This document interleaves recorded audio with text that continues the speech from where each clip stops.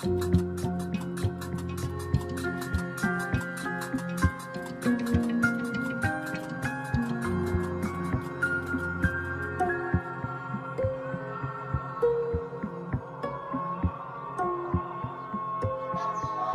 Coran, de l'arabe Al-Quran, qui signifie récitation ou lecture, est le livre fondateur de l'islam, une religion partagée par plus d'un milliard de fidèles dans le monde.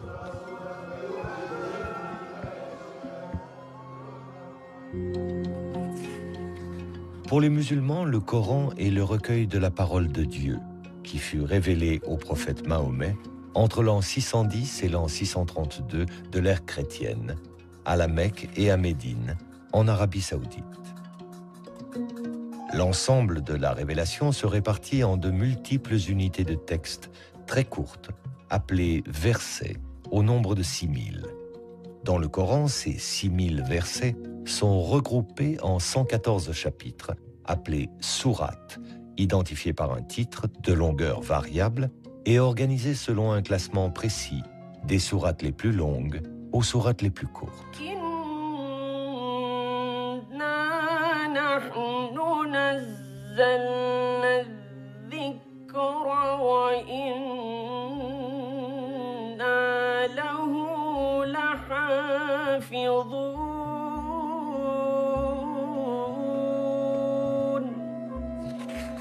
Pour la tradition musulmane, Dieu lui-même est le gardien du Coran. C'est-à-dire qu'il n'y aurait eu tout au long de son histoire qu'une seule et unique version du texte coranique, inchangée depuis 14 siècles.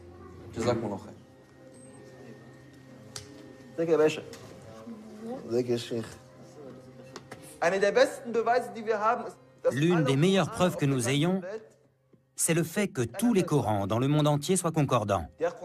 Le Coran qu'on lit au Maroc est le même que celui qu'on lit en Chine, et celui qu'on lit en Arabie saoudite le même qu'on lit ici aujourd'hui en Europe ou en Afrique du Sud. Où que l'on aille, quelle que soit la direction vers laquelle on regarde, c'est toujours le même Coran.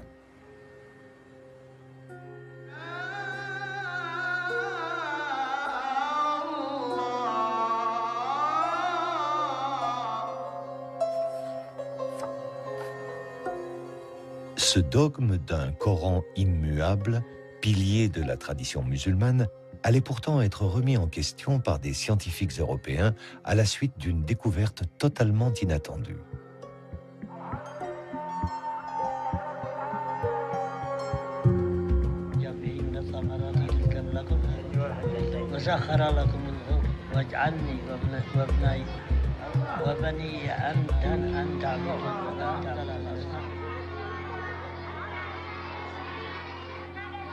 En 1972, le toit de la grande mosquée de Sanaa, la plus ancienne de la ville, s'effondre et laisse apparaître une sorte de cache où se trouvaient dissimulés depuis des siècles des milliers de parchemins.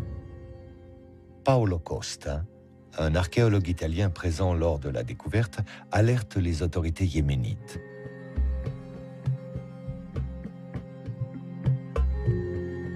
Il s'agirait de fragments de Corans anciens. Une équipe de chercheurs européens procède à une datation au carbone 14 et confirme. Ces fragments datent du tout premier siècle de l'islam, vers l'an 680 de l'ère chrétienne.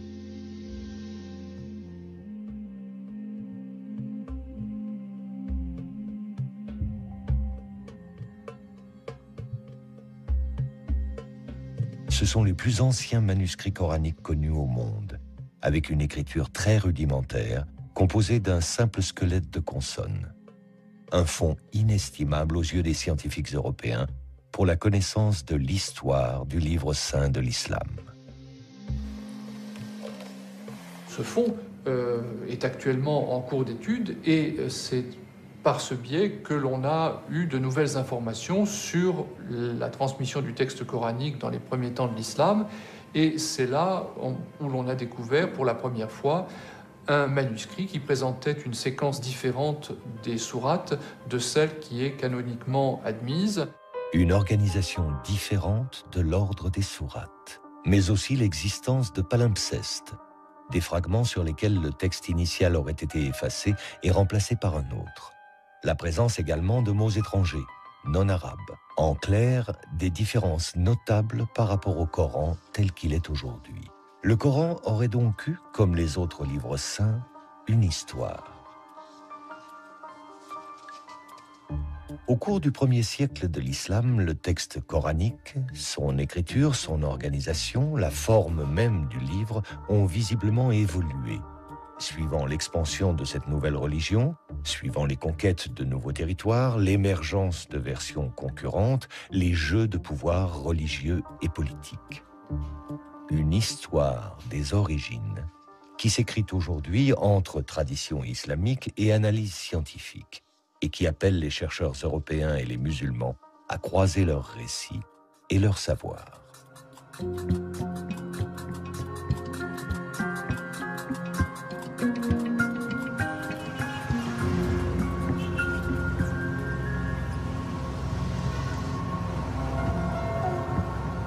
Ferid Haider est étudiant à l'Université libre de Berlin, au département des langues sémitiques et arabes mais en tant qu'imam, il est à ce titre porteur de la tradition musulmane.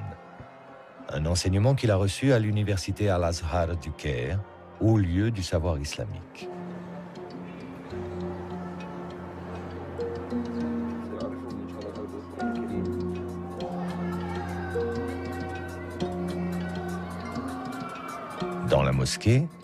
Les étudiants venus du monde entier se retrouvent pour des discussions théologiques un partage de connaissances, et pour la récitation du Coran, comme un écho perpétuel à la révélation faite au prophète Mahomet au tout début du 7e siècle. À cette époque, l'Arabie n'était qu'un vaste désert que parcouraient les nomades et leurs caravanes. L'oasis de la Mecque abritait la Kaaba, un sanctuaire où l'on vénérait encore de multiples dieux, des idoles de pierre.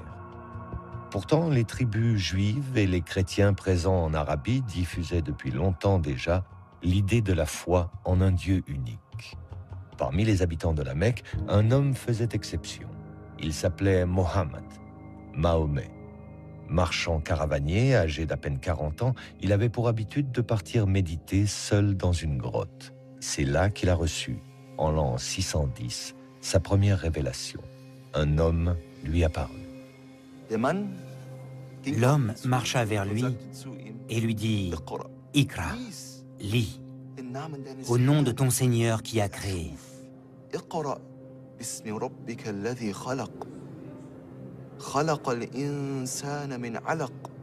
Qui a créé l'homme d'une adhérence.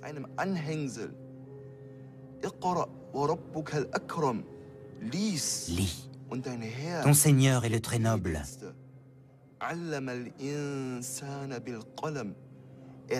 Qui a enseigné par la plume, a enseigné à l'homme ce que l'homme ne savait pas. Et cet homme que le prophète Mahomet a vu, c'était Jibraïl, l'archange Gabriel, cet archange en qui les chrétiens et les juifs croient aussi. Ces cinq versets furent les premiers de la révélation faite à Mahomet. La révélation, tout entière recueillie dans le Coran, affirme avant tout que Dieu est unique et que Mahomet est son ultime prophète, son messager, dans la lignée d'Abraham, de Moïse et de Jésus.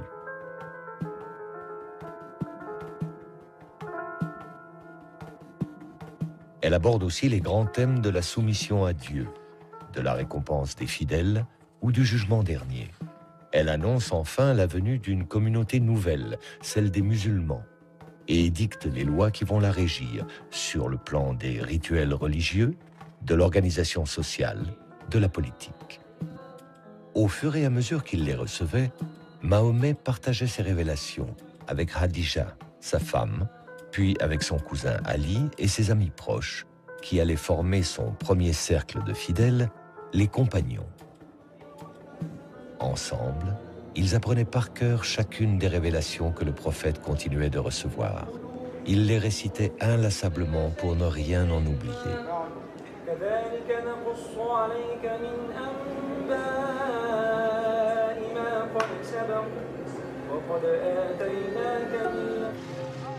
Si la Mecque est aujourd'hui le lieu le plus sacré de l'islam, appelant chaque année par millions les musulmans au pèlerinage autour de la Kaaba, il n'en fut pas ainsi au temps du prophète.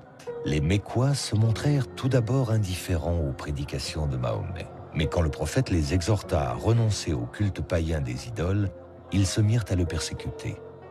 Mahomet fut contraint de quitter la Mecque. C'est à Médine, une oasis où vivaient de nombreux Arabes convertis au judaïsme, que le prophète s'installa en l'an 622 avec ses premiers fidèles, les compagnons, dont Abu Bakr, Omar, Ousmane et son cousin Ali. Médine fut sacrée capitale du premier État islamique. À la tête d'une communauté nouvelle et dotée d'une puissante armée, le prophète Mahomet partit à la conquête de nouveaux territoires.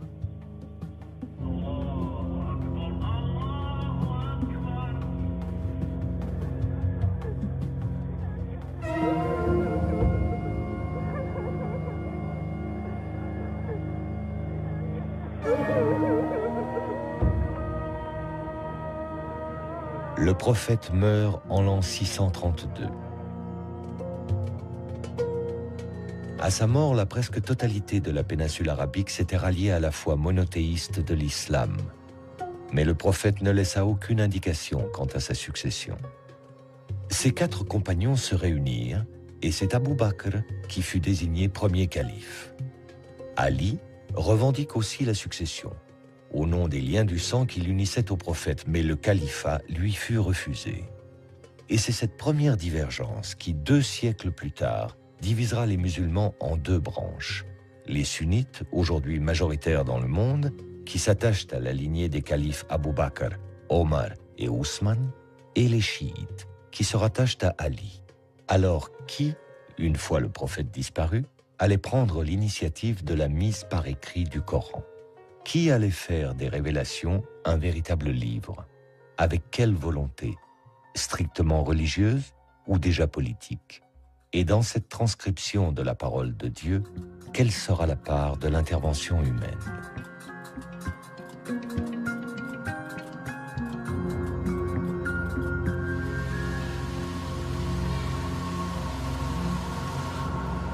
François Desroches est l'un des spécialistes mondiaux de l'histoire des manuscrits arabes. C'est à la Bibliothèque nationale de France, où est conservée l'une des plus importantes collections de manuscrits anciens, qu'il travaille actuellement sur des Corans provenant de Damas et du Caire. En tant que paléographe et codicologue, il applique au Coran une double analyse, à la fois de l'histoire de l'écriture et de l'histoire des codex, les plus anciennes formes de livres reliés. Dans les débuts de l'islam, la mise par écrit du Coran semble avoir été un enjeu important pour les communautés musulmanes. Il y a, euh, semble-t-il, la volonté de réaliser ce qui était une promesse contenue dans le texte coranique, celle d'un kitab, d'un livre qui euh, se matérialise. Et on a bien l'impression que transcrire le texte coranique correspondait à une urgence de posséder un livre qui faisait de la communauté musulmane la détentrice d'une écriture au même titre que juifs et chrétiens qui étaient peuple du livre, Ahl-al-Kitab.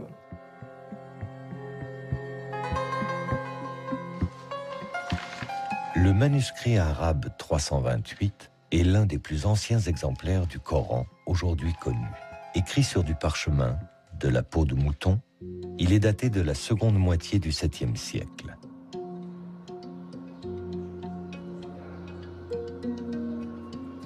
Ce manuscrit fut découvert dans une cache de la mosquée Amr à Foustat, l'actuelle banlieue du Caire, lors de la campagne d'Égypte menée par Bonaparte à la fin du XVIIIe siècle.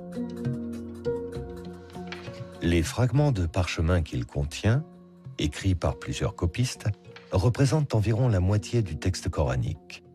En plus de ceux qui se trouvent à la Bibliothèque nationale de France, D'autres fragments sont conservés à la Bibliothèque nationale de Russie à Saint-Pétersbourg, à la Bibliothèque apostolique Vaticane à Rome et dans une collection privée à Londres.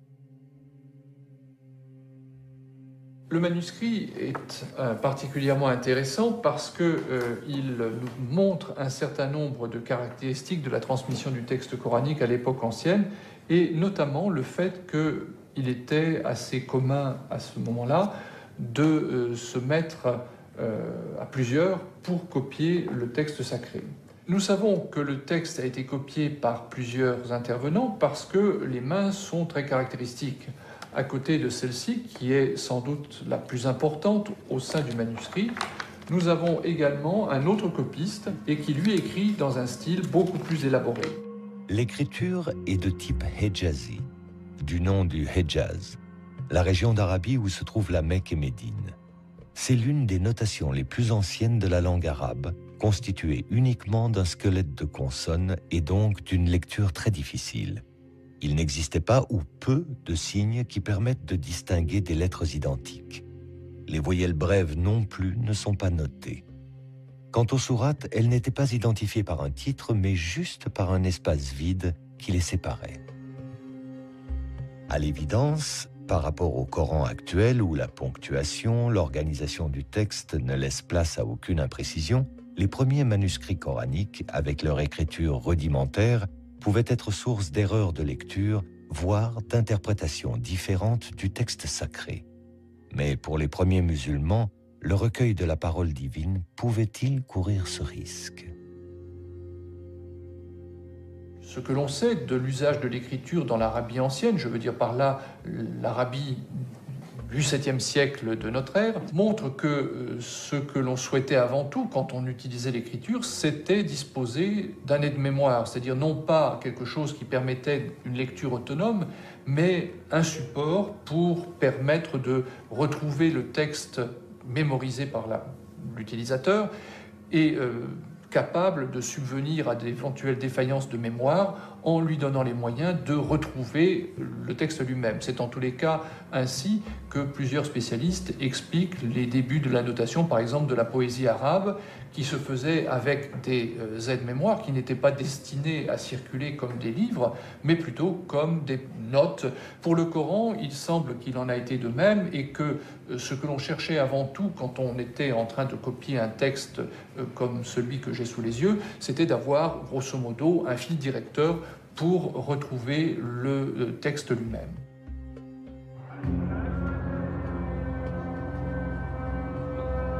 Même utilisé comme aide-mémoire, et malgré ses insuffisances orthographiques, la mise par écrit de la révélation coranique montre la grande confiance que témoignaient les premiers musulmans dans la capacité d'un livre à assurer la sauvegarde de la révélation coranique. Restait à donner à ce livre, fut-il encore dans sa forme primaire, un statut central, unique. En un mot, un statut de texte canonique. C'est à cette tâche que s'est consacré le calife Ousmane, troisième successeur du prophète Mahomet, et dont le récit de la tradition musulmane a établi précisément les conditions et les enjeux.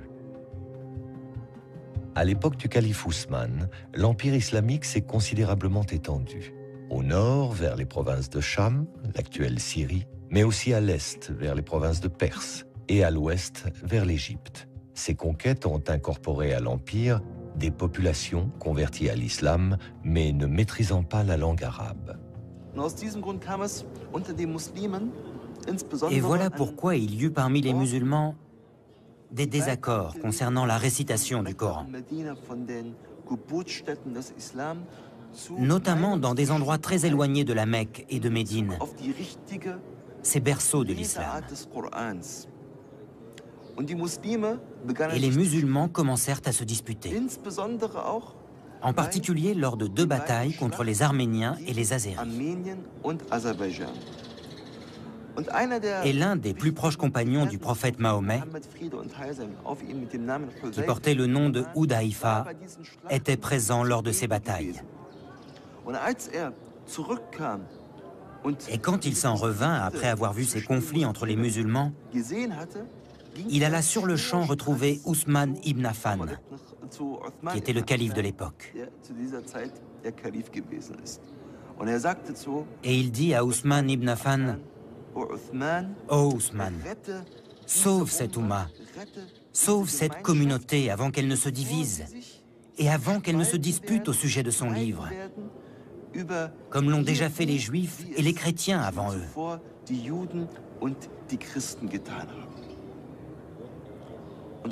Et Ousmane ibn Affan prit cet avertissement très, très au sérieux.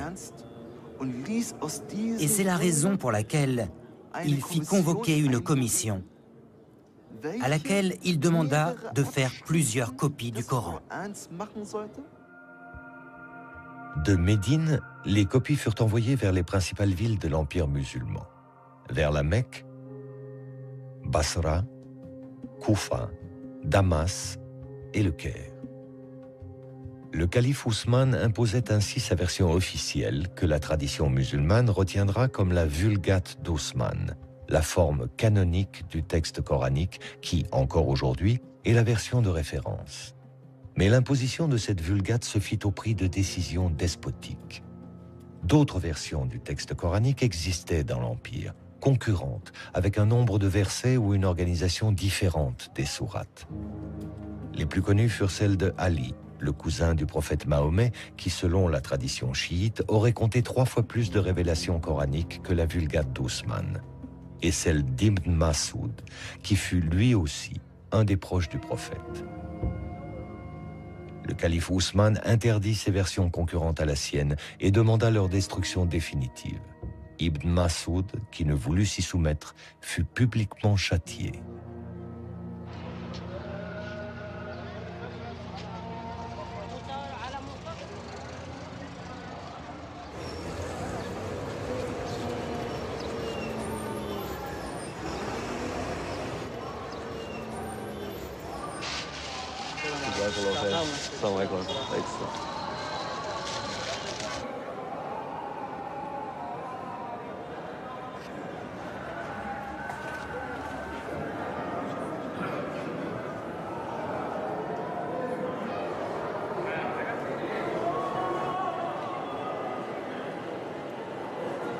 La Vulgate ousmanienne, objet de foi autant que de pouvoir, fut portée au rang d'objet de dévotion par la tradition musulmane.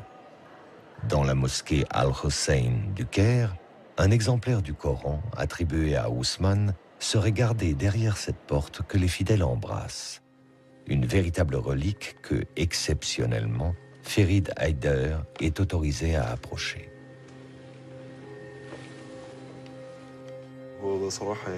À vrai dire, c'est un très grand moment pour moi. Ceci est bien l'un des exemplaires du Coran qui a été écrit à l'époque d'Ousmane. Que Dieu soit satisfait de lui. Tout simplement, on s'accorde pour dire que ce Coran est l'une des six copies que le calife Ousmane avait ordonné d'écrire. On peut voir les pages et prendre connaissance de cette écriture. Il est grand au nom d'Allah. Il n'y a ni ponctuation ni voyelle. Bismillah.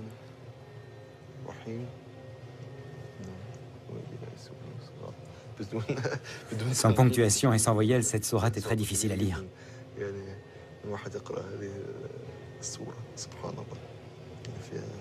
Je peux voir la dernière page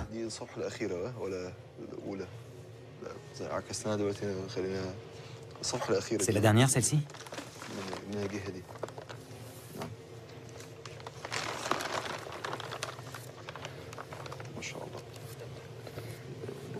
C'est la dernière. C'est la sourate An-Nas. Les hommes, n'est-ce pas?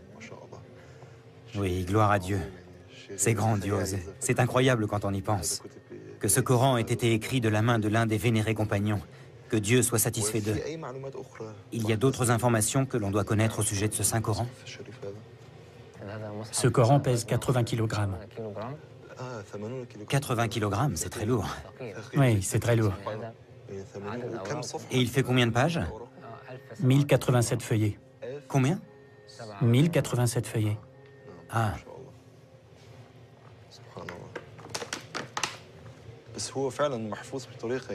Franchement, la conservation est superbe. Il a plus de 1400 ans, c'est vraiment très très ancien. Si vieux et malgré cela, gloire à Dieu, on dirait qu'il a été écrit il y a à peine 100 ans. Dieu est grand. C'est merveilleux. On dit qu'il y a des taches de sang dans ce Coran. Je ne sais pas à quelle page elles se trouvent. Pourtant, elles existent bel et bien, mais j'ignore où.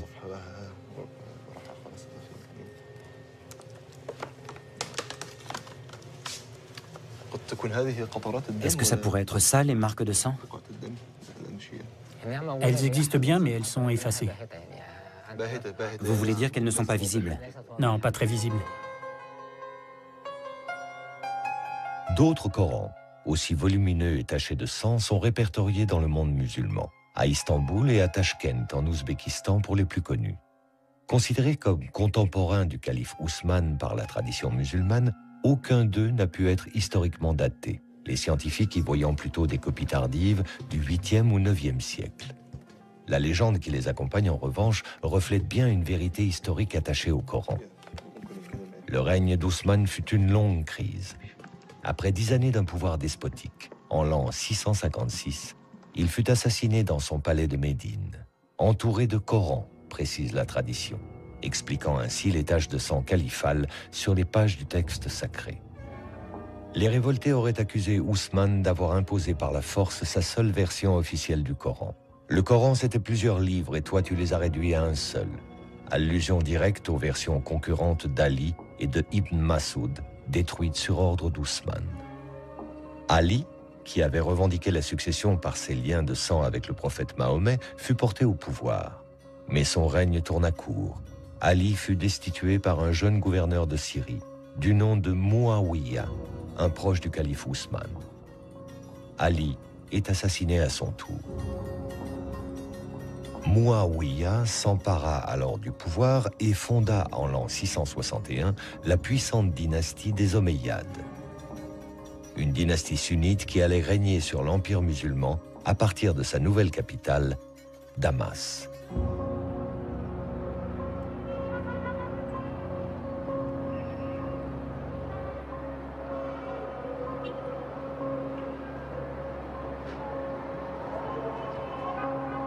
Trente années à peine après la mort du prophète Mahomet, et une fois mise en place une première version canonique du texte sacré par le calife Ousmane, le Coran allait, sous les Omeyyades, entrer dans la seconde phase de son histoire.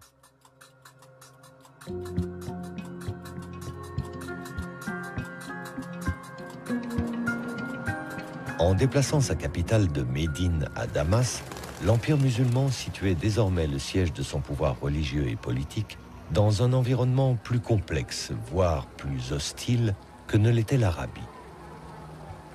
Il fallut d'abord faire face à la révolte des chiites, menée par le fils d'Ali, Hussein, qui sera massacré à Karbala, en Irak, décapité par les armées omeyyades lors d'une bataille.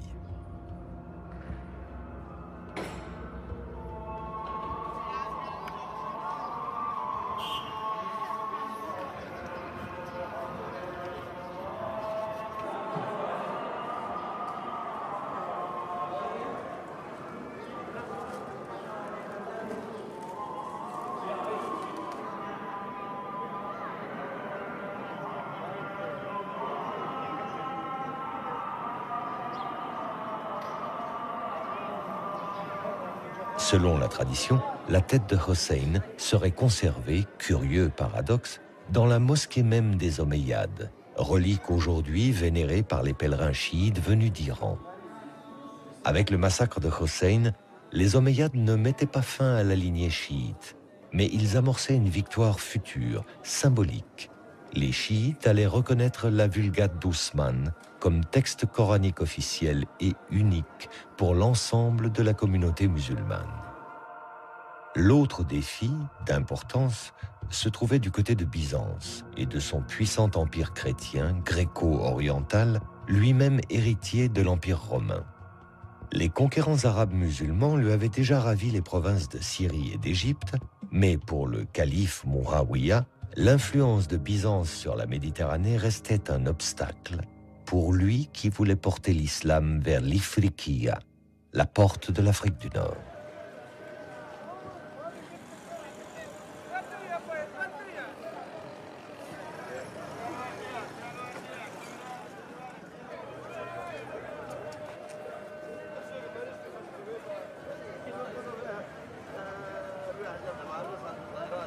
En l'an 670, le calife y envoie l'un de ses généraux qui fit de Kérouan, en Tunisie, le point de départ de l'islamisation du Maghreb et de la diffusion du Coran d'Ousmane.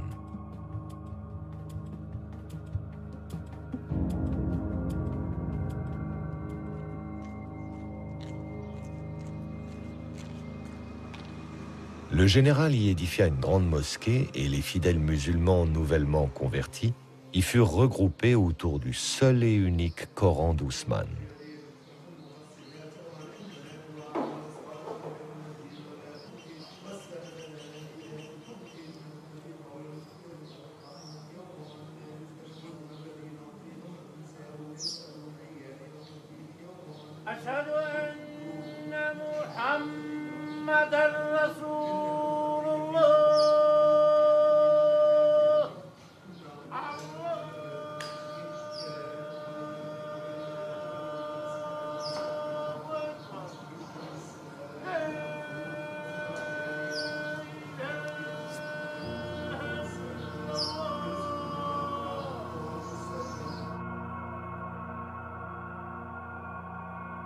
Coran apporté par les troupes omeyyades vinrent s'ajouter ceux que les copistes kérouanais commençaient à produire sur place. Ils allaient ainsi constituer l'une des plus grandes bibliothèques coraniques des premiers temps de l'islam, et dont il subsiste aujourd'hui une rare collection de quelques dizaines de milliers de fragments.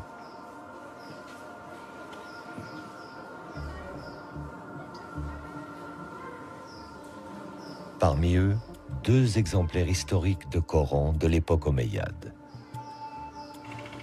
Considéré aujourd'hui comme patrimoine de la ville, témoin de l'histoire de Kérouan, l'analyse de ces Corans anciens fut récemment confiée à François Desroches.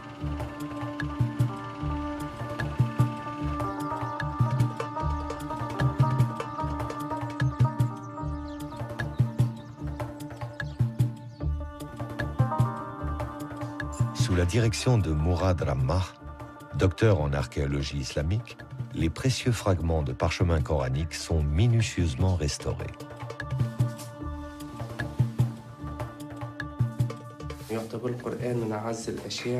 Le Coran est considéré comme l'une des choses les plus précieuses pour la communauté musulmane. Le Coran occupe une place très particulière dans le cœur de chaque musulman. C'est pourquoi, lorsque je restaure un manuscrit sur lequel sont écrits des versets du Coran, cela éveille un autre restaurateur en moi. Quand je restaure un manuscrit, en général, j'essaie de faire la plus belle restauration possible, de la plus belle forme, pour que le manuscrit se conserve au mieux. Mais quand je restaure un manuscrit coranique, ça me procure un sentiment de plénitude, un sentiment de bonheur réellement indescriptible. Car on préserve une chose investie d'une valeur culturelle et humaine qui, pour l'islam, est unique.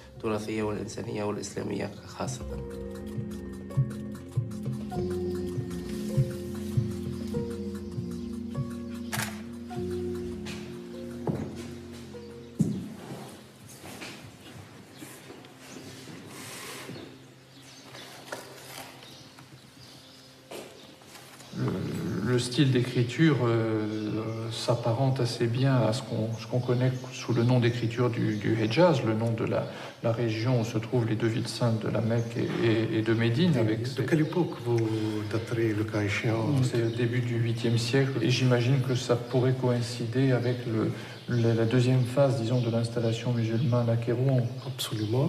Ça aurait pu effectivement être un des moyens d'islamisation du pays avec cette présence d'une collection de Coran euh, à la grande mosquée de Coran. Il y a sans doute eu un, une volonté de faire durer ce manuscrit. On le voit dans les, ces pages qui ont été euh, repassées pour les rendre plus lisibles. Absolument. Je ne pense pas qu'à Kérouan, dans les manuscrits de la collection, on observe de divergence par rapport à ce qui est euh, la vulgate haussmannienne, c'est-à-dire que les sourates sont dans l'ordre où on les connaît actuellement. On a l'impression effectivement que dans l'histoire, il y a eu un, une volonté de diffusion de, de copies de références qui a été, qui a été très forte. Là, c'est vraiment tout à fait autre chose. C'est sublime et c'est vraiment grandiose. Si on, ouvre une page, on a vraiment la, vision de la, de la taille de ce, de ce, manuscrit qui était impressionnant. Impressionnant, effectivement. Nous disposons de plus de 250 feuillets, alors que effectivement on considère que ce manuscrit il était constitué de 500 feuillets. Mmh. Il faut 500 Oui, ça, représentait un, un, volume énorme. Donc là, même si ça n'est pas forcément exactement le tout début du 8e siècle, c'est vraiment la, la, première, euh, la première moitié. Et euh, c'est un témoignage tout à fait exceptionnel sur le, la diffusion du texte coranique à cette époque et l'art du livre aussi, parce qu'il faut quand même remarquer cette espèce de saut qualitatif euh, tout à fait impressionnant entre les deux, les deux manuscrits. La finesse du trait, on, a affaire à des, à des professionnels du, dessin, des gens qui sont déjà de, des enlumineurs qualifiés. Et donc il y a une grande variété de couleurs et de motifs aussi. Oui, ce, motif de flèche est assez, assez exceptionnel. La qualité du décor et surtout sa variété, on a l'impression que il n'y a pas deux sourates euh, précédées d'un bandeau identique, que ce soit du, du, décor végétal ou du décor euh, davantage géométrique. Géométrique, oui. Encore aujourd'hui, ça reste un manuscrit impressionnant par sa, dimension. On a vu tout à l'heure un autre manuscrit qui était quand même beaucoup plus, plus petit, peut-être une, une page. On voit bien le, la, différence de, de, valeur euh, et la, différence des moyens mis en œuvre. Oui, ça, je crois que c'est un des, un des joyaux de la, de la collection.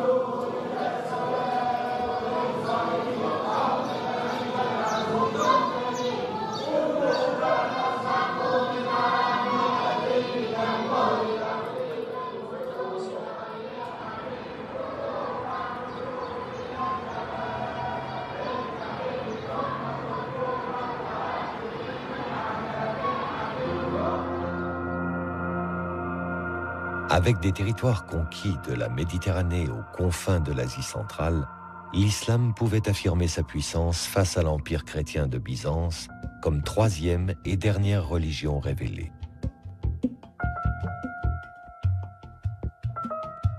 Il lui restait cependant à donner une véritable expression à cette puissance, mais dans une grandeur de l'islam liée à l'histoire du christianisme. L'artisan en sera Abd al-Malik, le calife le plus flamboyant de la dynastie des Omeyyades.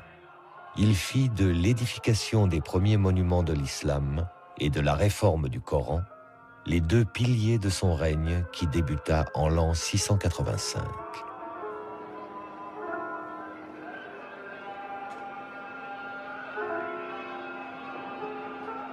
Sur l'emplacement même de la mosquée, avant que la région ne soit conquise par les musulmans, se trouvait une petite église dédiée à Saint Jean le Baptiste, une figure chrétienne présente dans le Coran sous le nom de Yahya. Son tombeau fut gardé au centre de la salle de prière et il est toujours, aujourd'hui, vénéré par les musulmans.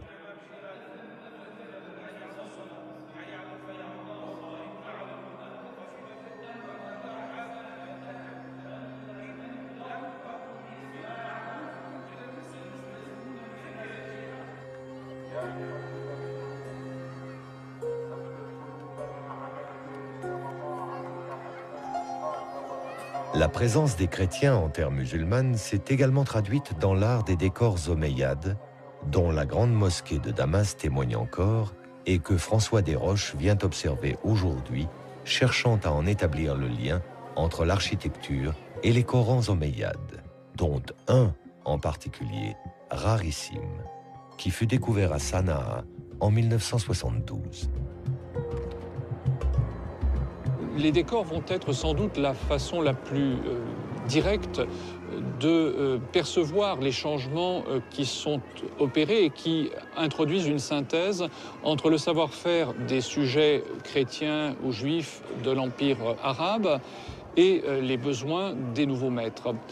On fera appel à des artisans et des artistes chrétiens, certains qui seraient même venus prêtés par l'empereur byzantin.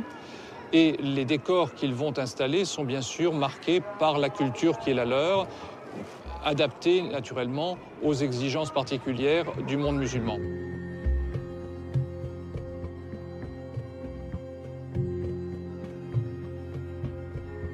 On peut faire des parallèles extrêmement précis entre ces mosaïques chrétiennes dont je parlais à l'instant et euh, les décors des Corans. Dans les enluminures qui ornent les Corans d'époque omeyyade, on peut peut-être trouver une trace de l'influence de ces grandes constructions. On peut naturellement rapprocher la structure de la grande mosquée de Damas avec cette enluminure qui figure sur la page de droite de ce célèbre fragment trouvé à Sanaa il y a de cela quelques années.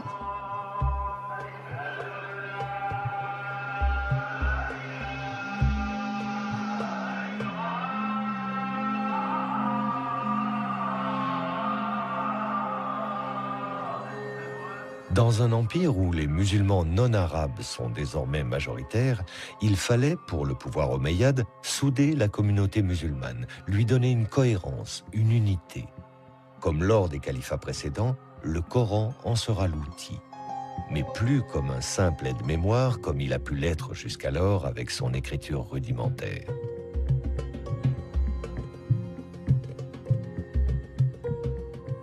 Pour le calife omeyyade Abd al-Malik, l'amélioration de la Vulgate d'Ousmane s'imposait.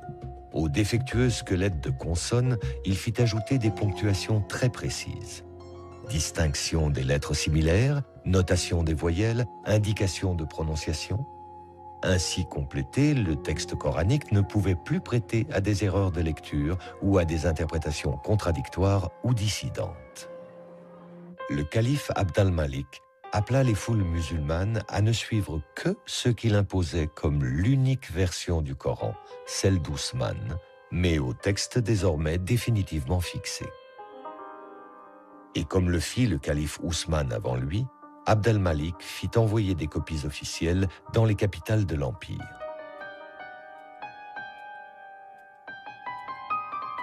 Moins d'un siècle à peine après la disparition du prophète Mahomet, l'islam, au même titre que les deux religions révélées, détient son livre. L'œuvre du calife Ousmane et sa volonté d'un Coran unique et unifié sont enfin accomplies.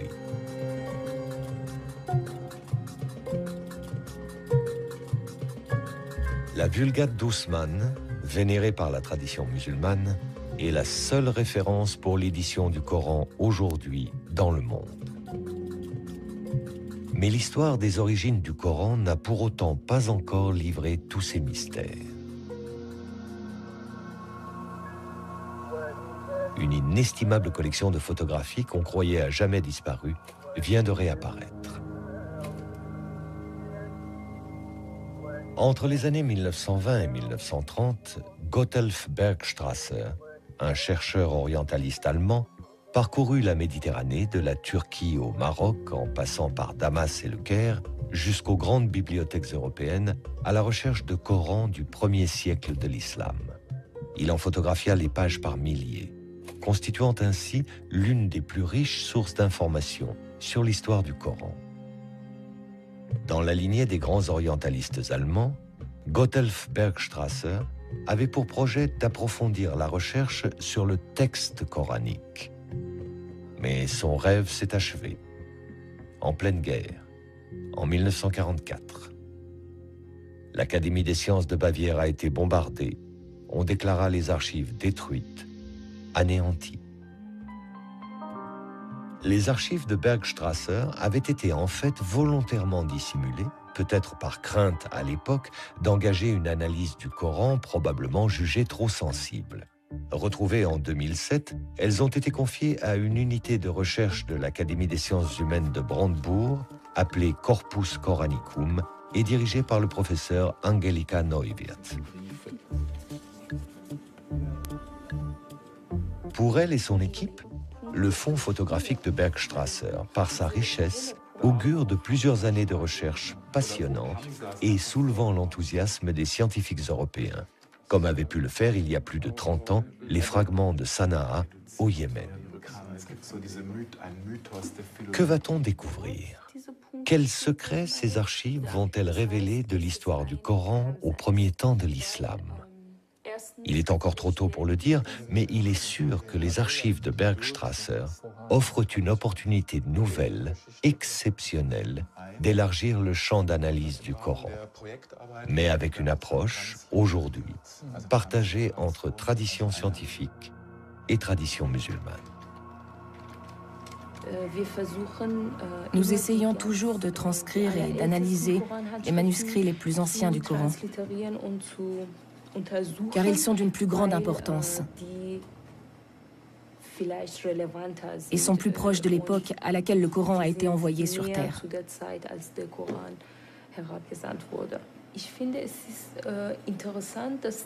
Il me semble intéressant que les musulmans s'impliquent eux aussi dans ces travaux.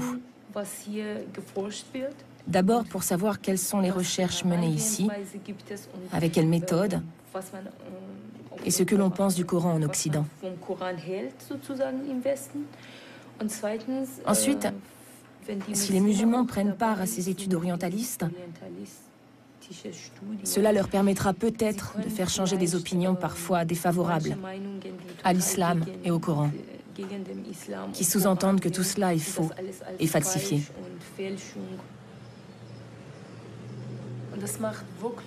C'est vraiment passionnant de transcrire ces manuscrits coraniques. On voit par exemple, quand on lit une sourate, la vingtième sourate par exemple, je l'ai transcrite trois ou quatre fois. Et maintenant, je la connais par cœur. Et petit à petit, je comprends ce qu'ont ressenti à l'époque les gens qui lisaient le Coran. Moi, je trouve que c'est très utile de collecter des manuscrits et de les examiner.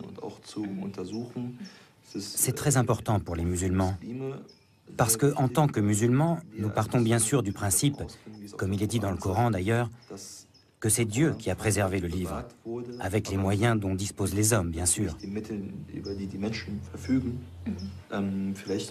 J'aurais peut-être une autre question. Comment ressens-tu finalement, en tant que musulmane, le fait de participer à un tel projet qui est quand même dirigé et qui a été mis en place par des orientalistes, c'est-à-dire par des scientifiques non musulmans? Cela ne m'a jamais vraiment posé de problème. Il est vrai que nous avons une autre approche du Coran. Nous le percevons vraiment en tant que livre saint. Et nous y voyons notre religion. Donc tu n'y vois pas de contradiction Personnellement, moi non plus. Pour autant que je sois au courant de ce projet, je ne ressens pas là de contradiction. C'est vrai. Parce que ces gens travaillent de façon très objective. Et scientifique. Et ils ont un point de vue scientifique. Et je ne pense pas que nous, en tant que musulmans, devions avoir de problème avec une approche scientifique. Oui. Parce que je pense qu'en tant que musulmans, nous devons peut-être tout simplement avoir ou trouver la force d'aborder la question sous un angle scientifique. Oui. Absolument. Ne serait-ce que pour montrer que nous n'avons pas peur. Parce que si je dis que je ne veux pas d'une approche scientifique, que ça me suffit de croire que ça vient vraiment de Dieu et que ça n'a pas été falsifié, c'est un signe extérieur de faiblesse. Oui. Ça voudrait dire que j'ai peur que cela mette en évidence quelque chose qui ne serait peut-être pas très bon pour nous, musulmans, ou pour l'islam, parce que cela contredirait ce en quoi nous croyons. Mais je n'ai aucun souci là-dessus. De toute façon, en Allemagne, les orientalistes sont toujours des Allemands. Et je trouve que ce ne serait pas mal que les musulmans aient un jour la possibilité d'y prendre part. Un peu, oui. Absolument. L'un de nos premiers objectifs est de partager nos propres constatations ou nos propres points de vue sur le Coran avec des musulmans. À long terme, nous espérons bien sûr pouvoir fédérer autour d'une idée qui n'est d'ailleurs pas neuve, à savoir que l'on peut mettre nos deux traditions sur un même plan et que l'on peut tirer des enseignements de toutes les deux. Ce qu'il nous faut, c'est une interaction. Ce qui, face à la mondialisation, devrait d'ailleurs être le cas depuis longtemps. Interaction entre deux traditions du savoir qui peuvent en quelque sorte s'aligner. En ce sens, nous sommes dans le même bateau que les musulmans. Et nous ne voulons en aucun cas pratiquer notre recherche coranique de façon, comment dirais-je, académique. Alors qu'il y a des millions de musulmans qui sont curieux, qui s'intéressent et qui disposent eux-mêmes d'un savoir que nous n'avons pas. Si nous voulons vraiment nous approcher du Coran, nous avons besoin d'une étroite collaboration avec des érudits musulmans. Sans eux, ce n'est pas possible.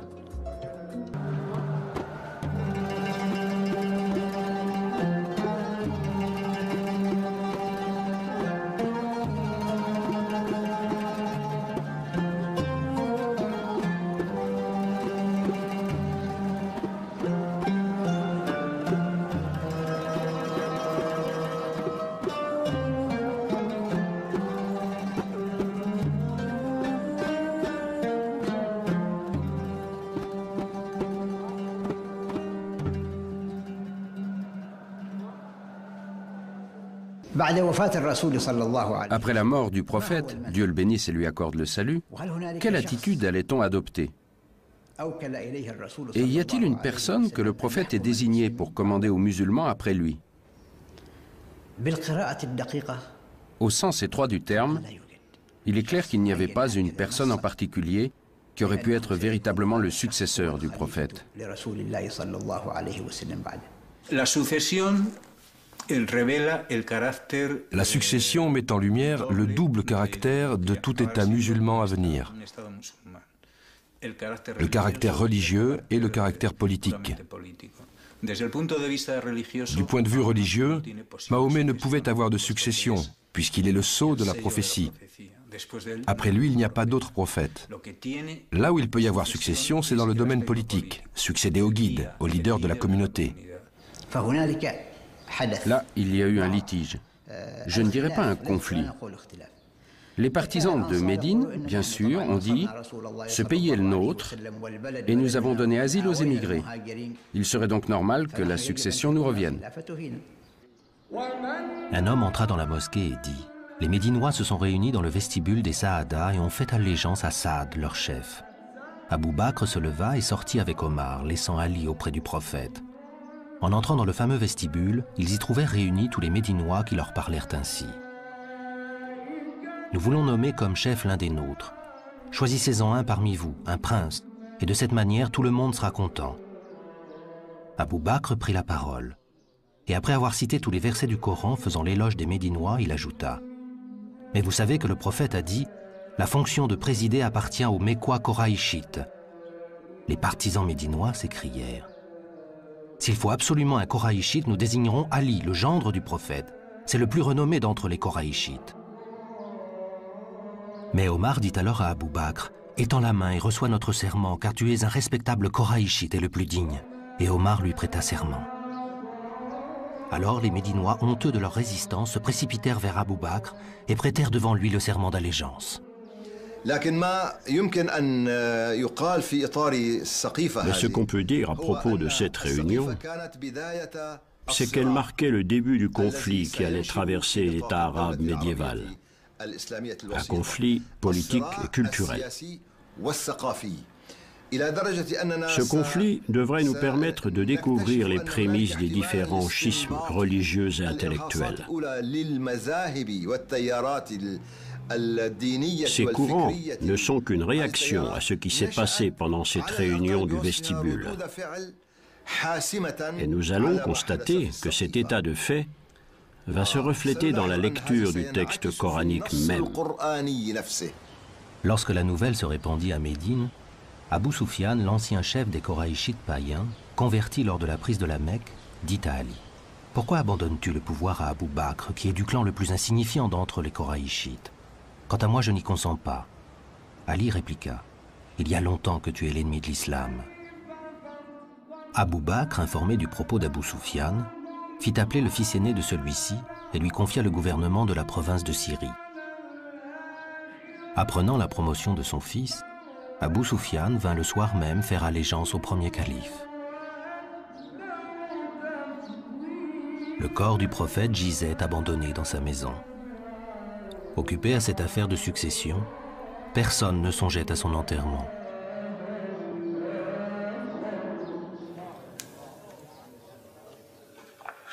Quel héritage Mahomet a-t-il légué en tant que prophète? À sa disparition, il y a d'une part des fragments d'un Coran dispersés dans tant de mémoires de compagnons, et d'autre part le souvenir de ses gestes et paroles, les hadiths. Il faudra attendre longtemps, deux siècles, pour que les souvenirs du personnage seulement humain de Mahomet soient élaborés en cette énorme institution hadith, ou tradition prophétique. Cette institution de hadith prendra une place telle qu'elle aura quasiment la même autorité que le texte révélé, le Coran. L'islam sera alors, peut-être indûment, ce jeu de miroir entre la parole de Dieu et ce qui la rend humainement audible, la parole du prophète sacralisée dans le hadith. Une des erreurs concernant le prophète qui a contribué à la pétrification de l'islam durant les siècles qui ont suivi, c'est la sacralisation des hadiths, c'est-à-dire de ses paroles et de ses faits et gestes. Les sunnites considèrent tous les compagnons comme des témoins infaillibles et presque comme des demi-dieux. C'est ce que je pense et j'espère ne pas me tromper. Car ils les considèrent comme des guides qui ne se trompent jamais. Et ceci n'est pas une vision objective. Il faut être réaliste. Même les compagnons du prophète étaient d'abord des politiques. Quand le prophète est mort, on s'est réunis chez les Saada. Et ceux qui étaient chez le prophète et qui ont entendu parler de cette réunion s'y sont précipités. On dit que le prophète n'a été enterré que trois jours après sa mort. C'est historique. Donc la vision objective, c'est celle du Coran qui considère les compagnons comme des êtres humains qui peuvent commettre ou non des erreurs et que Dieu jugera. Donc les politiques se partageaient le pouvoir et luttaient pour l'avoir. C'est dans ce contexte que des hadiths ont été rajoutés, qui donnent un caractère surhumain à un simple individu qui disait ⁇ Je ne suis qu'un homme ⁇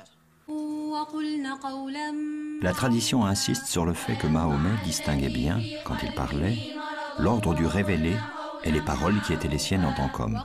Il interdisait que celles-ci soient d'une manière ou d'une autre consignées. Pourtant, beaucoup plus tard, à la lumière de cette affaire de succession, un hadith va opérer comme un symbole et devenir une jurisprudence politique. لكم قصة صغيرة حدثت مع السيدة فاطمة بنت رسول الله عليه الصلاة والسلام مع سيدنا أبو بكر اللي هو الخليفة الأول من خلفاء الرسول عليه الصلاة والسلام القصة إنه المسلمين كانت غنائمهم كثيرة كتير كبيرة كتير من خيبر. وكان الرسول عليه الصلاة والسلام له حصة من هي الغنائم اللي هي كانت أرض فدك. وأرض فدك معروف إنه هي أرض خصبة فيها أشجار مثمرة وما إلى ذلك. فبعد وفاة الرسول عليه الصلاة والسلام راحت السيدة فاطمة إلى أبو بكر الصديق باعتباره الخليفة الأول لرسول الله وبإيده أمر المسلمين كلهم. شو قالت له؟ طالبت بحصتها من من ماذا؟ من أراضي خيبر أو من ميراث والدها فذهبت إلى سيدنا أبو بكر وطالبت بذلك لكن أبو بكر شو قال لها؟ قال لا والله إني لسمعت رسول الله عليه الصلاة والسلام يقول نحن معاشر الأنبياء لا نورث ما تركناه صدقة Dès la mort de Mahomet, pratiquement toute l'Arabie va contester la religion qu'il a apportée. Mettant en cause le pilier de l'aumône obligatoire, la sakat, les provinces d'Arabie vont diriger les armes contre un pouvoir central à peine né. Ce violent reniement, dont l'un était dirigé par une femme prophétesse, Soujah, va être vigoureusement réprimé par le premier calife Abou Bakr. Telle sera la seule réalisation de son court mandat, qui aura duré 20 mois. Les Koraïchites ont été à l'avant-garde pour réprimer la rébellion qui a éclaté à la mort du prophète. Après le retour des rebelles à l'islam, on a décidé qu'il serait mieux d'orienter le potentiel guerrier de ces gens vers l'extérieur des frontières. Autrement, ils ne tarderaient pas à reprendre les armes à l'intérieur. De là est venue l'idée des conquêtes. Les commandants de ces armées étaient de la tribu des Koraïchites, les nouveaux convertis, et la plupart des soldats étaient ces nomades qui avaient participé à cette rébellion. Il va de soi que lorsqu'une nation est occupée à faire des conquêtes, elle en vient à oublier ses querelles internes. En politique, c'est connu. Lorsqu'un État ou une organisation, quel qu'il soit, doivent affronter un péril extérieur, l'union se fait à l'intérieur.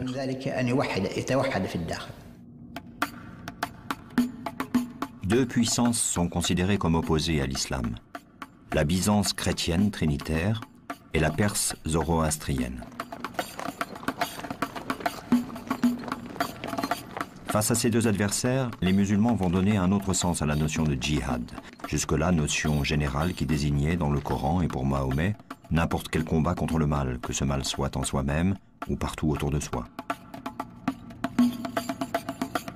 Vers 637, après avoir conquis l'empire perse chancelant, Omar, au nom de ce même djihad élargi, affrontera Constantinople. Quant au fait que l'islam se soit répandu par la force, si nous cherchons dans le Coran pour voir si l'islam ordonne l'utilisation de la force, dans les versets du Coran et la Sunna, la tradition du prophète, nous voyons bien qu'il n'y a aucune obligation à se convertir à l'islam, aucune contrainte. Quand le Coran parle des objectifs du combat, il dit ⁇ Combattez dans la voie de Dieu contre ceux qui vous feront la guerre. Combattez-les jusqu'à ce que vous n'ayez point à craindre la tentation. Il les met en garde contre la perte de leur liberté de croyance, afin que les musulmans ne soient pas opprimés et qu'ils ne soient pas détournés de leur foi.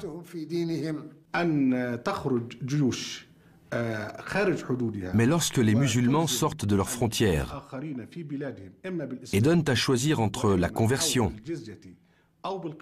le paiement d'une dîme ou le combat, cela n'a rien à voir avec la législation coranique.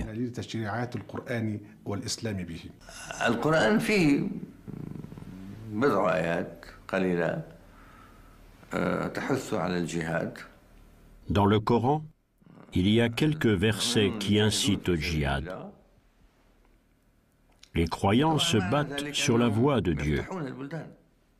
Cela veut dire que lorsqu'ils conquièrent des pays, ils commencent par proposer l'islam. S'il est accepté, ils y entrent pacifiquement. Sinon, ils entrent par la force.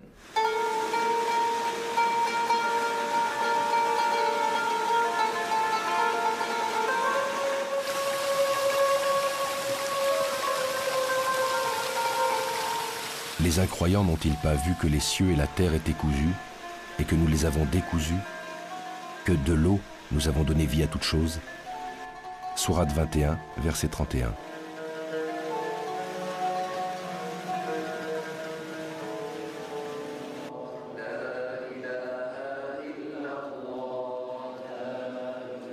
Omar fonde l'administration à l'image d'un véritable État.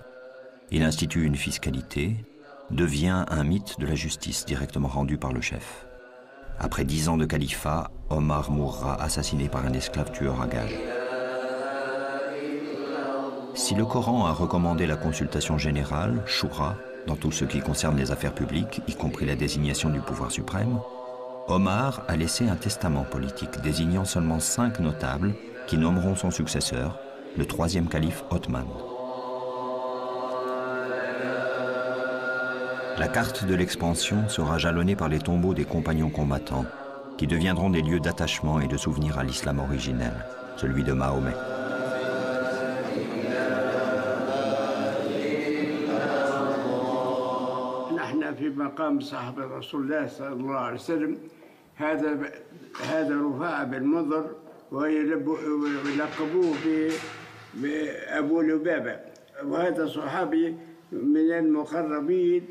مع سيدي سيدنا محمد نبي نبينا.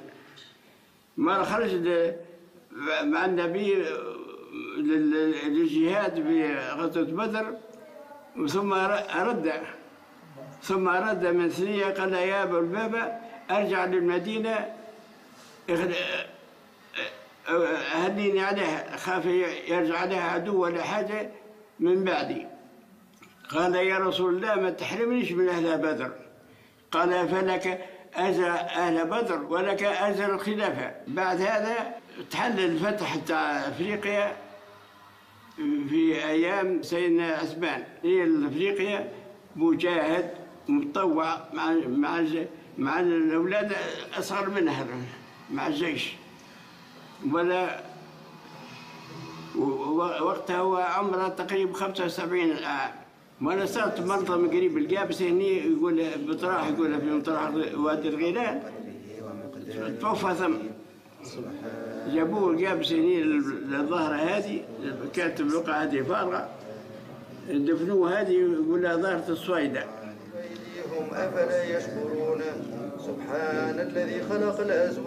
Au fur et à mesure que les conquêtes se poursuivaient, la mort sur les champs de bataille de nombreux compagnons, témoins des faits et gestes du prophète, rendait urgente une tâche délicate, la compilation du Coran. Il faut se souvenir que le Coran s'est transmis d'abord oralement. Les musulmans, même aujourd'hui, comprennent et considèrent le Coran comme un phénomène oral, avant de le considérer comme une réalité textuelle.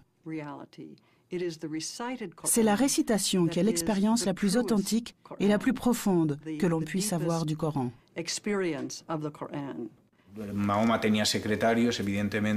Mahomet avait des secrétaires, bien évidemment. Il leur répétait la révélation qui était alors transcrite sur les matériaux qu'il trouvait à portée de main. Mais il n'y avait pas de véritable ordonnancement. Il y avait des lectures, mais c'était surtout une tradition orale. Les fidèles de la première heure apprenaient et connaissaient par cœur le Coran. Le souci de rassembler ces fragments épars du Coran originel dicté par le prophète a sans doute été celui d'Abou Bakr, puis d'Omar. Ils ont certainement l'un et l'autre tenté d'en faire un recueil. Mais ni l'un ni l'autre n'ont eu l'intention de réaliser une structure organisée de sourates. En ce qui me concerne, je suis persuadé que le Coran était à cette époque-là dans l'ordre qu'on lui connaît actuellement pour ce qui est de l'enchaînement des versets dans chaque chapitre. Et je ne crois pas qu'il y ait certains versets qui ne figuraient pas encore dans certains chapitres. Je crois donc que le Coran était là en entier, sauf que les sourates étaient dispersées. Là une sourate, là deux sourates, là dix. Le Coran a donc été rassemblé du vivant du prophète, mais il était encore sous forme de feuillets épars. La collecte du texte coranique a peut-être commencé pendant les dernières années de la vie de Mahomet, mais elle sera plus active et plus conséquente plus tard, sous le règne d'Omar, et plus particulièrement sous celui d'Othman.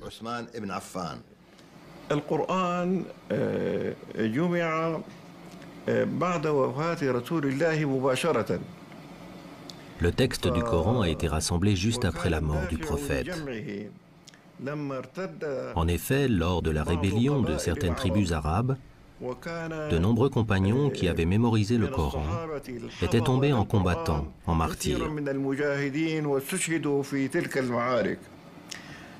On craignit donc que la perte de ces mémoires vivantes n'entraîne la perte d'une partie du Coran.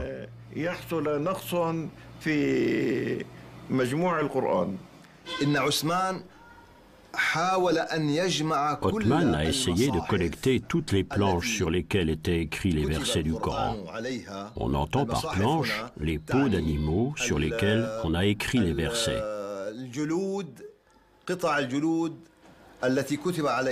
Il a donc rassemblé tout cela pour pouvoir choisir et il a constitué le Coran. C'est ce qu'on appelle le Coran d'Othman. Puis, si l'on en croit les chroniques, il a détruit le restant des planches.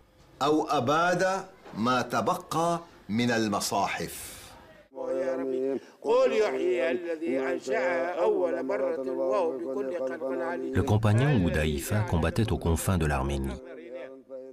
Revenu de l'expédition, il se précipita dans la maison du califat sans même, disent les chroniques, avoir pris le temps de rentrer chez lui.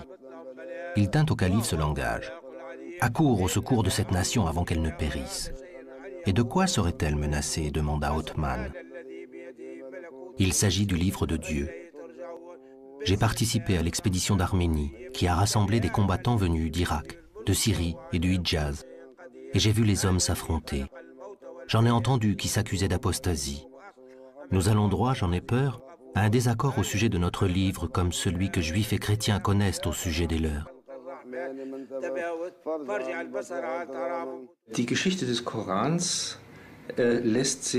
Il est impossible, aujourd'hui encore, d'écrire clairement l'histoire du Coran. Nous avons des versions très détaillées qui nous viennent de la tradition islamique, mais il y a à l'intérieur du Coran des éléments qui indiquent qu'il n'a pas été écrit d'un seul jet.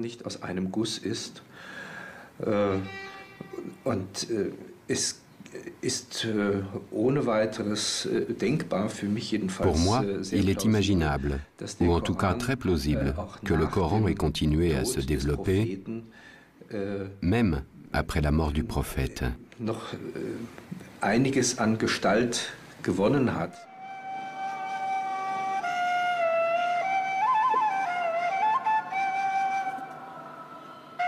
Louange à Dieu, souverain de l'univers, le clément, le miséricordieux, souverain au jour de la rétribution. C'est toi que nous adorons, c'est toi dont nous implorons le secours. Dirige-nous dans le sentier droit, dans le sentier de ceux que tu as comblés de tes bienfaits, de ceux qui n'ont point encouru ta colère et qui ne s'égarent point. Première sourate, la Fatia.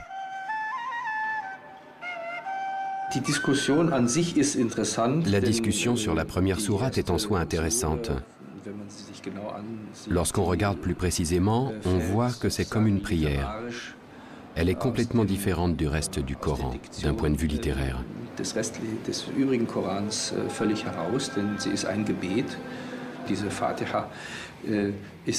Cette Fatiha, cette ouverture, n'est sûrement pas apparue après Mahomet.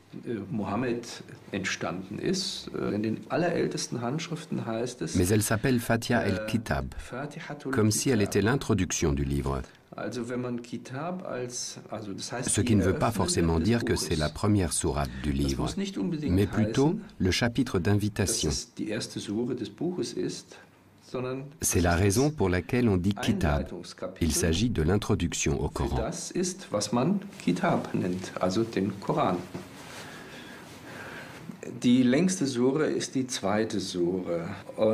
La plus longue des sourates est la seconde.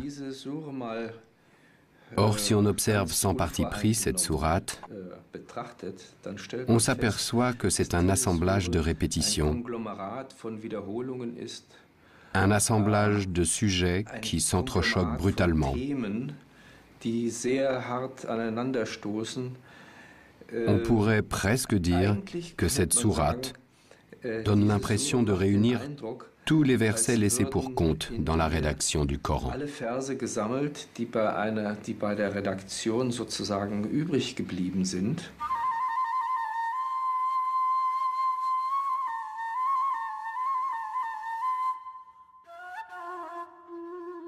L'entreprise de Hotman de faire une entité structurée à partir des fragments et des groupes de versets reçus par Mahomet pendant 23 ans de prophétie peut paraître aujourd'hui assez complexe. Il y a pour chaque verset du Coran une sorte de petite histoire qui raconte comment cette révélation est advenue. Ainsi, nous pouvons dire que nous connaissons sa continuité historique. Pourquoi n'a-t-on pas suivi cet ordre historique dans le plan du Coran? Le texte, tel que nous le connaissons, est le reflet d'une décision, d'une mise en ordre, qui sont pour une bonne part artificielles. L'ordre choisi n'est pas inhérent au matériel narratif, au matériel coranique lui-même. Les sourates sont disposées, dans une large mesure, de la plus longue à la plus courte. Mais on aurait aussi bien pu faire l'inverse.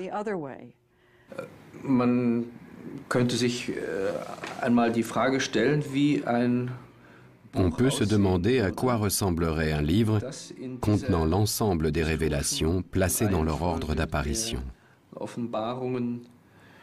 Äh, zusammengestellt worden wäre.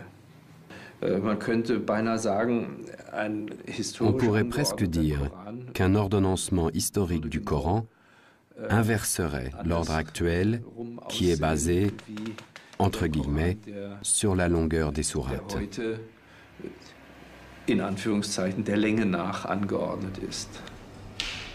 La tradition présente les choses d'une manière simplificatrice.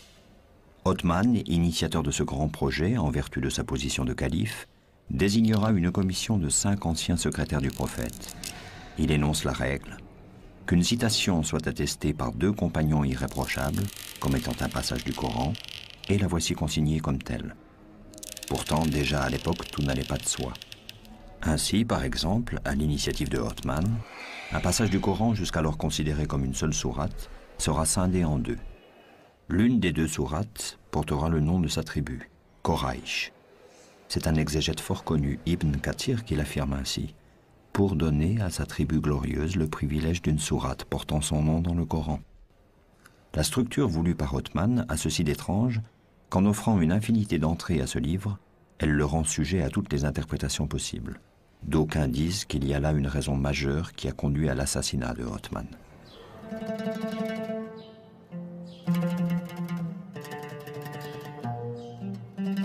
Pour enterrer Othman, on le porta sur le battant d'une porte, de sorte qu'on entendait sa tête cogner contre le bois. On le déposa et tandis que l'on procédait au rite mortuaire, un groupe de Médinois vint leur dire « Non, nous en jurons par Dieu, vous n'allez pas célébrer pour lui la prière des morts. » Un homme dans le cortège dit « Ainsi vous voulez nous empêcher de célébrer une prière pour lui? Eh bien Dieu et ses anges ont déjà béni son âme. » Ses compagnons conseillèrent à cet homme de s'en tenir là et de se taire. Il obéit. Ils reprirent la dépouille et repartirent en courant. Ils arrivèrent à l'orée du cimetière des croyants. Un Médinois vint à leur rencontre et dit « Par Dieu, non, vous ne l'enterrerez pas dans le carré de l'envoyé de Dieu, et nous ne vous laisserons pas célébrer pour lui la prière. » Ils s'en furent. Arrivés au cimetière juif, ils creusèrent un trou et célébrèrent la prière. Quand ils précipitèrent le corps d'Othman dans le trou, sa fille se mit à hurler. Un des présents lui dit « Dieu m'en est témoin, si tu n'arrêtes pas, je te couperai ce qui te sert à porter les yeux. » Ils l'enterrèrent sans mettre de pierre, se contentant de recouvrir le corps de terre. L'écriture arabe procédait du nabatéen, qui ne traçait que les consonnes, dont plusieurs avaient la même graphie. C'est en cet état que les premières copies du Coran nous sont parvenues. Un même mot pouvait donc avoir plusieurs sens.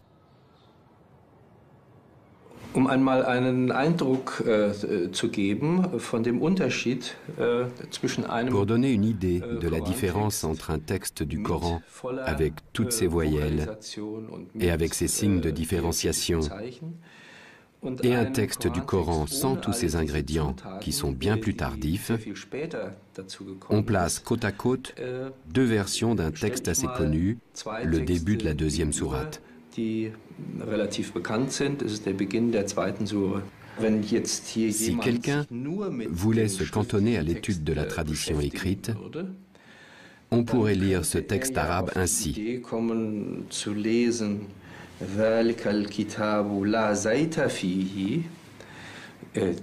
Ce livre ne contient pas du tout d'huile d'olive.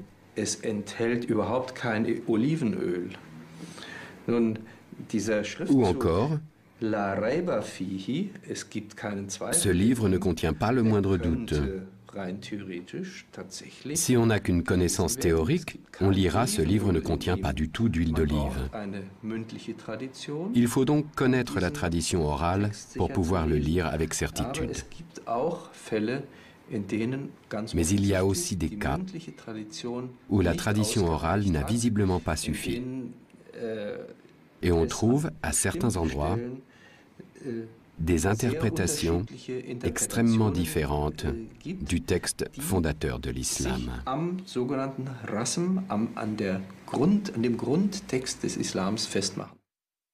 Nous n'avons envoyé avant toi, dit le Coran à Mahomet, aucun apôtre auquel Satan n'eût suggéré des erreurs dans la lecture d'un livre divin. Mais Dieu abroge ce que Satan suggère et affermit le sens de ses signes. Sourate 22, verset 51.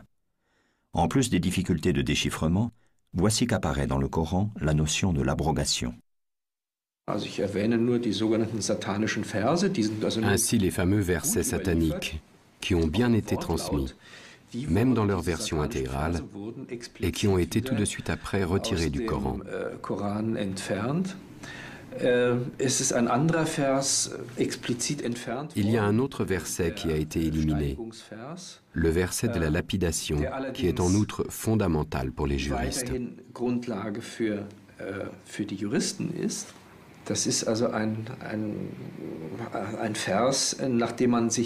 C'est un verset sur lequel on a fondé une pratique juridique. Mais on sait que le prophète l'a fait ôter du Coran. Äh. Le vieux et la vieille adultère, lapidez-les jusqu'à ce que mort s'en suive. Tel est le châtiment que Dieu leur réserve. Verset retiré du Coran.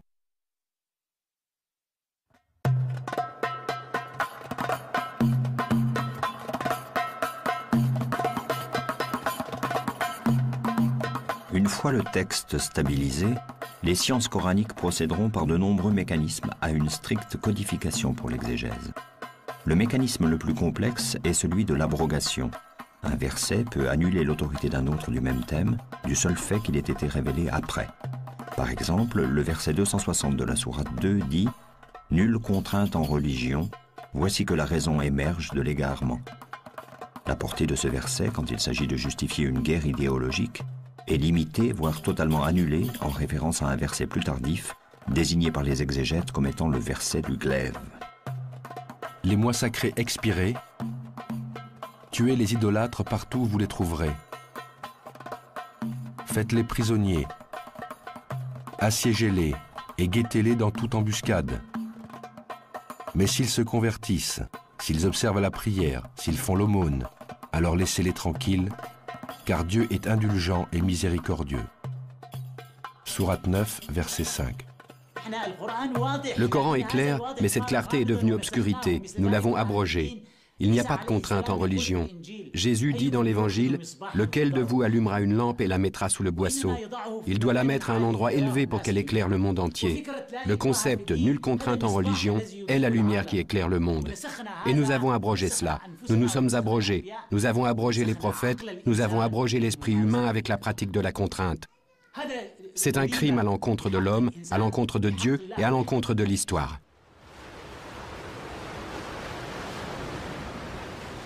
En islam, il n'y a pas de différence entre la sphère du profane et la sphère du religieux, entre ce qui est à César et ce qui est à Dieu. La charia, la loi coranique, veut que Dieu gère tous les rapports qui règlent la cité des hommes. La législation ici dessine les champs du licite et du permis. Étant donné que Mahomet est le sceau des prophètes et qu'il a été envoyé à toute l'humanité, en quoi sa prophétie est-elle différente des autres prophéties? Les lois de l'Ancien Testament ont été édictées pour des situations particulières. En revanche, les lois édictées dans le livre de Dieu à Mahomet sont fondées sur le principe des limites. Pour bien vous expliquer cela, prenons par exemple un terrain de football. Ce terrain a des contours extérieurs. Le jeu se passe à l'intérieur du terrain et si le ballon sort, l'arbitre siffle. Il y a des règles du jeu sur le terrain, mais il y a des milliards de possibilités de jeu. Par exemple, il a dit Vous couperez les mains des voleurs, hommes ou femmes. La limite du châtiment, c'est le fait de couper la main. Mais en dehors de cela, il y a des millions d'autres possibilités. Mais gare à ne pas dépasser la limite, car alors tu deviendras un barbare et un sauvage.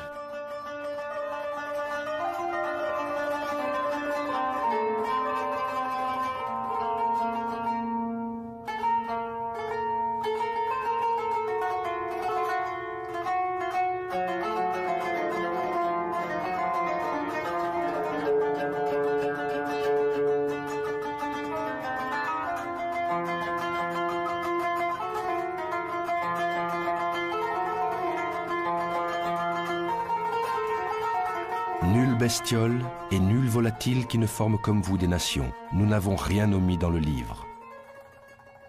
Sourate 6, verset 38.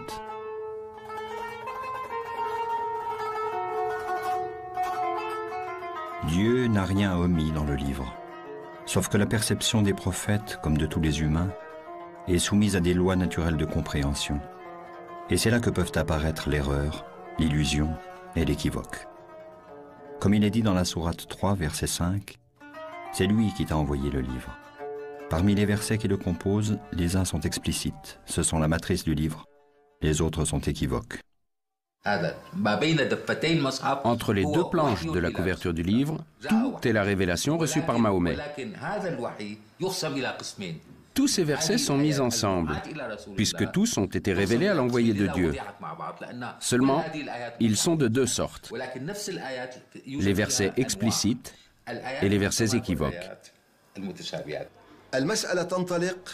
Le Coran, dans un verset, insiste sur le fait qu'il y a des versets équivoques, c'est-à-dire ambigus, et des versets dont l'énoncé est clair et le sens absolu.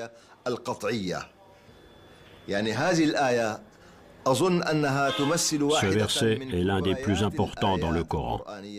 Et il a ouvert une porte que plus personne ne peut fermer à une lecture ouverte du texte coranique.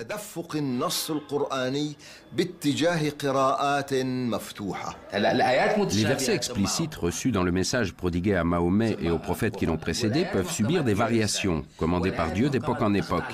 La preuve, c'est que Dieu a donné une révélation à Moïse et l'a transformée avec Mahomet.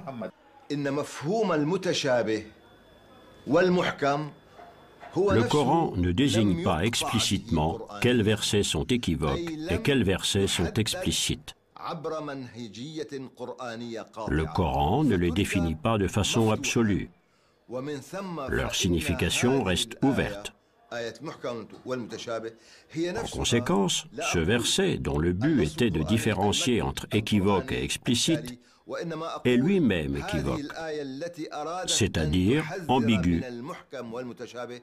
ce qui élargit l'horizon du texte coranique.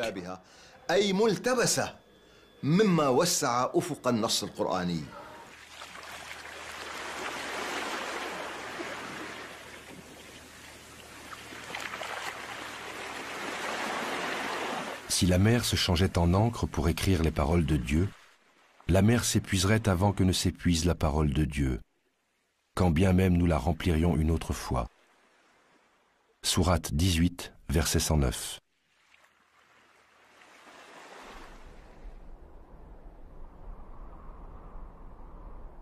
En 656, après la mort de Othman, de très nombreux points de fuite vont se dessiner à l'occasion de la Fetna, la sanglante guerre civile du début de l'islam. Empêché de gouverner, le quatrième calife Ali, cousin et gendre de Mahomet, conclura cette ère de califes clairvoyants qui ont marché sur les pas du prophète. Le pouvoir sera désormais essentiellement, sinon totalement, politique. Pendant un siècle au moins, et à partir de là, il s'exercera sous la menace des révoltes et des scissions qui donneront naissance aux principales doctrines, sunnisme, chiisme, kharijisme. Par-delà ces dissensions, la figure de Mahomet se maintient vive et comme encore présente dans les cités, les villages et chez le petit peuple. Portrait du prophète, d'après Tabari. Il était de taille moyenne, ni très grand, ni très petit. Son teint était d'un blanc rosé, ses yeux étaient noirs. Les cheveux de sa tête étaient longs et lui allaient jusqu'aux épaules, ils étaient noirs. Sa barbe qui entourait tout son visage était bien fournie. Son nez était droit, ses dents écartées. Son cou était blanc, son dos était charnu et robuste. Entre les deux épaules, il avait une excroissance de la grandeur d'un dirham, entouré de poils non clairsemés, mais touffus. Au fil des siècles, l'islam de Mahomet ira à la rencontre des peuples du monde. De l'Espagne à l'Inde, de Byzance au Maghreb, de la Perse aux profondeurs de l'Afrique et de l'Asie. C'est toute une civilisation riche de savoir, de science, de culture et de spiritualité qui se bâtit. Aujourd'hui, plus d'un milliard d'hommes et de femmes se réclament d'un même livre, le Coran, d'un même prophète, Mahomet, et d'un Dieu unique qu'ils partagent dans le message de Moïse et de Jésus, au-delà des conflits et de l'ignorance, avec d'autres femmes et d'autres hommes.